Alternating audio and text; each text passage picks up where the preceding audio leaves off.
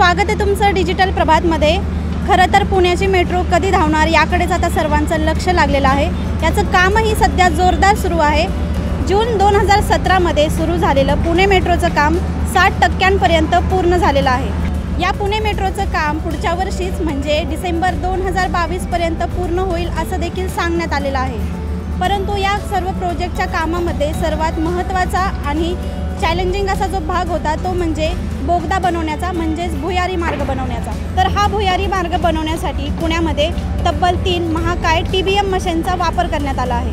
तर आता ही tunnel boring machine नेमकी कशी वापरली जाते त्याची किंमत काय असते आणि पुणे मेट्रोच्या कामामध्ये याचा वापर कसा करण्यात आला आहे हे सर्व या व्हिडिओच्या माध्यमातून आपण जाणून घेणार आहोत. पुणे मेट्रोमध्ये दोन कॉरिडॉर आहेत एक वनास ते रामवाडी आणि पी सी एनचे जे स्वारगेट असे टोटल हे तेहतीस किलोमीटरचं आहे. त्याच्यापैकी सहा किलोमीटरचा जो मार्ग आहे म्हणजे कृषी महाविद्यालयाचं ग्राउंड ते स्वारगेट हा मार्ग जो आहे तो भुयारा घालून आहे. म्हणजे साधारणतः पंचवीस किलोमीटर हे उन्नत आहे आणि बाकीचं सहा किलोमीटर हे जे आहे भुयारी आहे. तर आज आज मितीला आपलं जे दोन कॉरिडॉर आहे J P C M C ते स्वारगेट कॉरिडॉरमध्ये संत तुकाराम नगर ते फुगेवाडी हा पोर्शन जो आहे याचं उद्घाटन साधारणतः किंवा हा पब्लिकसाठी आपण ओपन साधारणतः या डिसेंबर एकवीसपर्यंत करणार आहोत किंवा त्याच्या आधीच होणार आहे. आणि दुसरं वनास्ते गरवारे.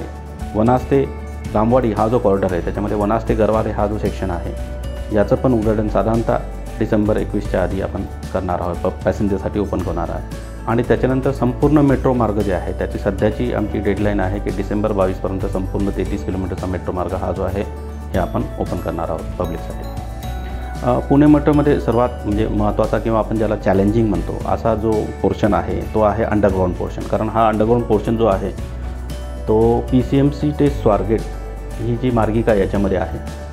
तर त्याच्यामध्ये पी सी एम सीपासून तो साधारणतः रेंजिलपर्यंत जो मार्ग आहे तो उन्नत आहे. आणि त्याच्यानंतर रेंजिनमध्ये जे ॲग्रिकल्चर कृषी महाविद्यालय त्याच्या ग्राउंडमध्ये तो उन्नत मार्ग जो आहे तो भुयारी होतो. आणि भुयारी मार्गामधलं पहिलंच टप्पा आहे पहिलं स्टेशन आहे ते शिवाजीनगर बस स्टँड आहे. त्याच्याखाली मेट्रोचं स्थानक आहे. दुसरा जो आहे तो सिव्हिल कोर्ट जिथे धान्य गोदाम होते पूर्वी. तिसरा आहे बुधवारपेठ किंवा ज्याला आपण फडक्या होऊन म्हणतो. चौथा आहे ते महात्मा फुले मंडई आणि पाचवा आहे स्वारगेट. तर इथे आपण नदी खालून भुयार जाता आहे आणि हा जो भुयारी मार्ग आहे ते दोन टनेल आहेत साधारणतः सहा किलोमीटरचे. आणि दोन टनेल बनवण्यासाठी सहा किलोमीटरचे आपण साधारणतः तीन टनेल बोरिंग मशीन वापरले आहेत. एक जे टनेल बोरिंग मशीन असतं ते साधारणतः त्याची किंमत पंचवीस कोटीच्या आसपास असते. त्याची लांबी साधारणतः एकशे वीस मीटर असते. त्याचा जो व्यास असतो तो साधारणतः सिक्स पॉईंट टू मीटर असतो. सिक्स पॉईंट टी मीटरचं बोगदा तो तयार करतो. वजन साधारणतः साडेचारशे टन असतं. असं हे अत्यंत महाकाय असं मशीन आहे. आणि हे मशीन चोवीस तासामध्ये साधारणतः दहा ते बारा मीटरचं टनेल बनवतं. पूर्णतः नवीन असं टनेल बनवतं. हे टनेल बोरिंग मशीन आहेत हे ॲक्च्युली हाँगकाँगमधली टेराटेक नावाची कंपनी आहे. तर त्यांच्या चायनामधल्या फॅक्टरीमध्ये हे बनवले आहेत आणि ते आपण इथे आलेले आहे. तर पुणे मेट्रोच्या जे बारा किलोमीटरचं काम आहे म्हणजे सहा प्लस सहा असे बारा किलोमीटरचे जे एकत्रित टनेल आहे त्याच्यासाठी आपण तीन टनेल बोरिंग मशीन वापरलं आहे. तर पहिलं टनेल बोरिंग मशीन होतं त्याला आम्ही मुठा हे नाव दिलं होतं.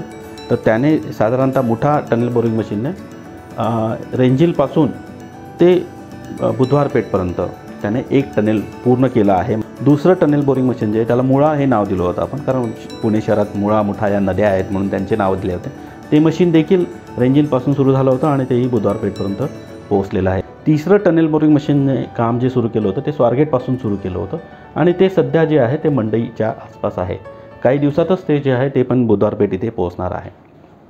आणि बुधवारपेठमधून जे मोठा टनेल बोरिंग मशीन होतं सर्वात पहिलं टनेल मशीन त्याला आम्ही पुन्हा स्वारगेटला घेऊन गेलो आहे आणि त्याच्याने जो उर्वरित बोगदा होता त्याचं काम आता तिथून सध्या ह्या महिन्याच्या अखेरपर्यंत सुरू होणार आहे. तर असे ही तीन टनेल बोरिंगच्या सहाय्याने आपण साधारणतः बारा किलोमीटरचं टनेल इथे पुणे शहरामध्ये आपण बनवणार आहे. टनेल बोरिंग मशीन जे असतं कारण हे अत्यंत महागडं आणि महाकाय मशीन आहे त्याचा जास्तीत जास्त वापर करून घ्यावा. आणि त्याच्यामुळे ही मशीन चोवीस तास आणि अगदी सात दिवस असं ट्वेंटी फोर बाय सेवन आपण वापरत असतो.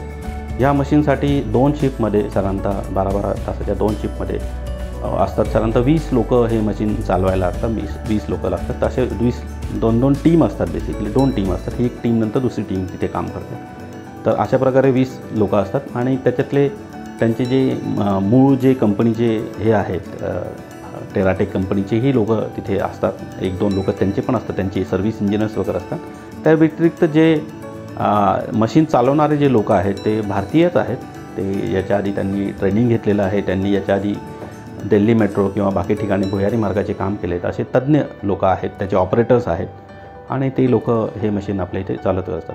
आज मी तेच तरी आपल्याला टनेल बोरिंग मशीन तसा काही त्रास झालेला नाही आहे अत्यंत चांगल्या रीतीने हे टनेल बोरिंग पुण्यामध्ये काम करत आहेत टनेल हे टी बी एम मशीन जे असतं ते साधारणतः विद्युत याच्याने चालतं. त्याच्यात अत्यंत महाकाय अशा सहा मोटर्स असतात इलेक्ट्रिकच्या मोटर्स आणि हे मशीन अत्यंत अवघड असं त्याच्यामध्ये आपण म्हणतो कॉम्प्युटराईज कंट्रोल मशीन आहे. आणि ते जी पी एस बेस असल्यामुळे जेव्हा टनेल टनेल एका ठिकाणून दुसऱ्या ठिकाणी बनवतो आपण तेव्हा तेव्हा थोडेही जागा जी हे चुकत नाही. अत्यंत मिलीमीटरमध्ये त्याची ॲक्युरेसी आहे.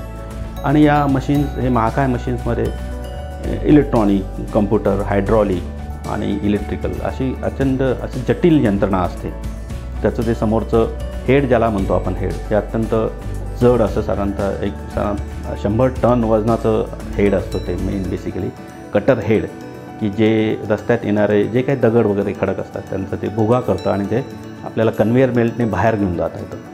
आणि मग कन्व्हेअर बेल्टने ती असं ते एका छोट्या वॅगनमध्ये पडतं सामान पूर्ण बेसिकली दगडाच्या खिलप्या. आणि त्यानंतर आपण बाहेर जाऊन जे आहे ते जिथे जुनी स्टोन स्टोन क्वेरी वगैरे असते अशा ठिकाणी आपण ह्या गोष्टी डम केल्या जातात. तर हे मशीन अत्यंत जटिल मशीन आहे. त्याच्यासाठी अत्यंत तज्ज्ञात तिश निष्णात असा क्रू लागतो. आणि या मशीनचे मटेरियल जे आहेत वेगवेगळ्या ठिकाणी वेगवेगळी मटेरियल्स अशी वापरलेली असतात.